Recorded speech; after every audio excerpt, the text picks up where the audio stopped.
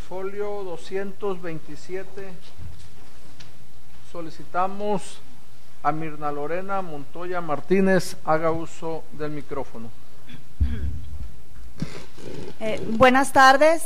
Mi nombre, como ya bien lo dijo el presidente municipal, eh, soy Mirna Lorena Montoya Martínez. Antes que nada, quiero agradecer este espacio que nos brindan a los ciudadanos para expresarnos y tener un acercamiento con nuestras autoridades municipales. Vengo en representación del Comité de Vecinos de Residencial Parque Alamedas del Desarrollo Urbano Tres Ríos a tratar la problemática que tenemos los vecinos del lugar con los antros de la zona. En marzo del 2013 nos presentamos en la presidencia municipal con un escrito acompañado de firmas que quedó registrado bajo el folio 29.640, haciendo una serie de denuncias por la problemática que nos trajo a quienes vivimos en la zona la instalación de antros que operan en horario nocturno con música de alto volumen hacia el exterior de sus establecimientos que demandan requerimientos de estacionamiento ah, eh, que no cubren y además generan condiciones de prostitución en la zona. El Boulevard Enrique Sánchez Alonso fue declarado corredor gastronómico y eso está muy bien. Lo que no entendemos es cómo es posible que basado en ello la Dirección de Desarrollo Urbano y Ecología haya venido autorizando la apertura de muchos antros concentrados en un pequeño sector de dicho bulevar. Entre las calles David Alfaro Siqueiros y la Diego Rivera se encuentran funcionando siete, restaurantes y ocho bares. Diez están en la Plaza 2255.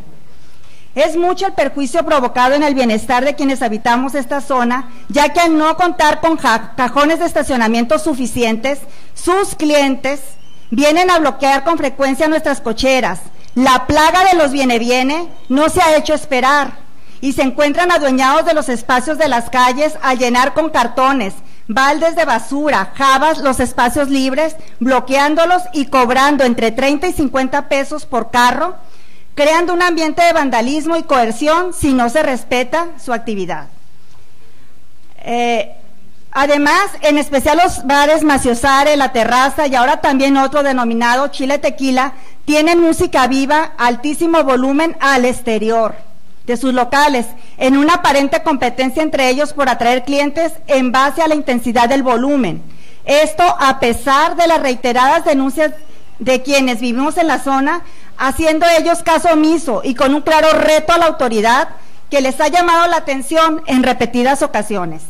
A partir de noviembre del 2012 empezó a funcionar un antro denominado Majestad en la esquina del Boulevard Sánchez Alonso y Juan O'Gorman, a la fecha no entendemos cómo es posible que se le haya pedido un permiso para funcionar, cuando, para funcionar, perdón, cuando está colindando con una zona residencial. Sus instalaciones son inadecuadas e inseguras.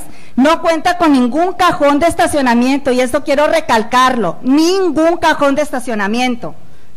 Y tampoco con un contenedor de, para la basura que genera. A partir de su apertura, la calle Juan O'Gorman, donde su servidora vive, luce siempre con basura generada por vasos desechables, botellas de cerveza y licor quebradas, condones y orines en la calle y en nuestras cocheras. Frecuentemente dichos clientes siguen su fiesta en la calle poniendo los estéreos de sus autos a todo volumen. Por ello solicitamos más vigilancia, por favor, en la zona. No estamos en contra de que funcionen mientras no nos perjudiquen. Muchos tenemos entre 8 y 10 años viviendo en esa zona y nuestra tranquilidad acabó a partir de que se les ha permitido, funcionar como lo han venido haciendo. Sabemos que se pretende abrir otro restaurante bar en la esquina de Rufino Tamayo y Sánchez Alonso. Están pidiendo firmas de los vecinos, pero no las vamos a dar. El bulevar es bastante extenso, como para seguir concentrando negocios de este giro en el mismo lugar. Pedimos de su apoyo, señor presidente municipal, señores regidores, para que se recuperen las condiciones de tranquilidad que prevalecían cuando se estableció esta zona habitacional y que crearon las condiciones que influyeron en la decisión de invertir nuestro patrimonio. Sabíamos que se desarrollaría una zona comercial, pero se asumía también que la autoridad regularía las actividades comerciales considerando que existía previamente una zona residencial ya, eh, ya habitada, respetando las condiciones de tranquilidad y bienestar inherentes pues, a la zona residencial. Creemos que se nos ha dejado de lado, eh, muy posiblemente por eh, ya nos han dicho algunas personas, el señor Gazzionis es dueño de un terreno bastante grande que está de la Juan O'Gorman a la Diego Rivera y se pretenden abrir tres antros más ahí. Solicitamos su apoyo para que ya no se sigan concentrando este tipo de lugares que nos vienen perjudicando. Gracias. Gracias, Mirna Lorena. Su asunto será turnado a Oficialía Mayor y a la Secretaría de Seguridad Pública y Tránsito Municipal y la Comisión de Seguridad y la Comisión de Gobernación le darán seguimiento a su petición.